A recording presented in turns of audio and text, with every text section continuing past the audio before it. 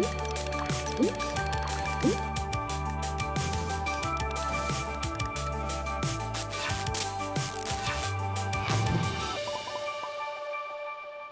Klaudia Szóstek, witam Państwa. Zapraszam na szczegóły prognozy pogody.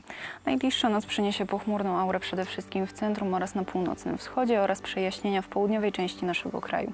Termometry wskażą od minus 4 stopni we Wrocławiu i w Zielonej Górze, minus 1 stopień w Łodzi do 1 stopnia w Warszawie.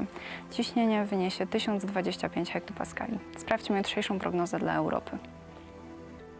Czwartek w Europie z pogodną aurą w części Skandynawii, w Wiedniu, Paryżu, Londynie oraz na Półwyspie Iberyjskim, z opadami deszczu na Bałkanach i opadami deszczu ze śniegiem w Wilnie i w Helsinkach. Termometry wskażą od 3 do 9 stopni w Skandynawii, 7 stopni w Berlinie oraz w Pradze, do 17 stopni w Atenach. Sprawdźmy prognozę pogody dla naszego kraju.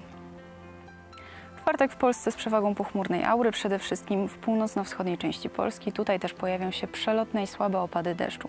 Więcej przejaśnień i rozpogodzeń pojawi się w Krakowie, Katowicach, w Poznaniu oraz w Koszalinie. Zakres temperatur wyniesie od 3 stopni w Białymstoku do 5 stopni w Katowicach. Wiatr przeważnie słaby powieje w kierunku południowego zachodu. Przejdźmy do prognozy pogody na trzy kolejne dni. Piątek y, przeważnie pogodny i słoneczny. Na zachodnich i południowych krańcach temperatura maksymalna wyniesie 8 stopni i tyle zanotujemy na Pomorzu.